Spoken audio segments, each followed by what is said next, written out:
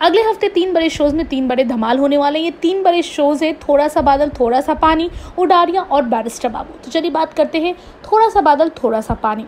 अनुराग और काजोल। इन दोनों की अभी लव स्टोरी तो शुरू हुई ही नहीं थी, लेकिन यहाँ पूरे अखबार में ये बात छप गई है। इसके बाद काजोल के घर वाले बहुत गुस्से में हैं, खासकर काजोल की माँ, जो अपनी बेटी को एक जोरदार थप्पड़ मारती है और कहती है कि तू यही कर रही है बाहर निकल कर तो नैना भी अपनी बड़ी बहन को उल्टी सीधी बातें कहती है और कहती है कि ये अनुराग को फंसा रही है। आपको बताते चले कि अनुराग को भी ये बात मालूम चल जाएगी कि पेपर में उन दोनों के बारे में क्या कुछ लिखा गया है। अनुराग इस चीज़ को लेकर बेहद गुस्से में होगा और सब क्लियरफाई करना चाहेगा। हालाँकि अनुराग काजोल से बहुत प्यार करता है, लेकिन वो अपने फीलिंग्स को बता नहीं पा रहा है। अब देखना यह है कि काजोल और अनुराग जो इस परिस्थिति में फंसे हैं, उससे वो कैसे बाहर निकलते हैं। अब बात करते हैं सीरियल उडारिया की। सीरियल उडारिया में आने वाले हफ़्ते में आप देखेंगे कि जिस दिन रावण दहन होने वाला है, उसी दिन जस की एंट्री हो जाएगी, क्योंकि यह जैस्मिन जस को मना लेगी। वो कहेगी कि, तुम मेरा काम करो, मैं तुम्हारा काम करूँगी। यानी कि जस को पैसे की ज़रूरत है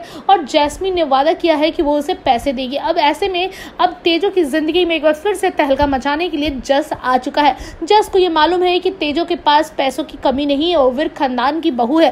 वेल अब देखना यह है कि फतेह कैसे रिएक्ट करता है, क्योंकि जस और तेजो जब आमने सामने होंगे, तब यहाँ फतेह जो है, वो जस को मज़ा चखाएगा। वेल अब बात करते हैं सीरियल बैरिस्टर बाबू की। बैरिस्टर बाबू का आने वाला हफ़्ता बहुत ही खास होने वाला है, क्योंकि आने वाले हफ़्ते में आप बटुक को अनिरुद्ध बनते हुए देखेंगे। बटुक जो है अपने आप को बिल्कुल चेंज कर लिया है, अपने आप को अनिरुद्ध बना लिया है, लेकिन उसकी हरकतें ऐसी ऐसी होंगी जो बौंदिता को शक करने के लिए मजबूर कर देंगे कि आखिर ये कौन है। अनिरुद्ध के शक्ल में ये तो कोई और है। बौंदिता अपने पति यानी कि अपने रक्षक बाबू, अपने सखा बाबू को बहुत जल्द पहचानने वाली है, और अनिरुद्ध मरा नहीं है। अनिरुद्ध का कम बहुत जल्द आपको दिखाया जाएगा।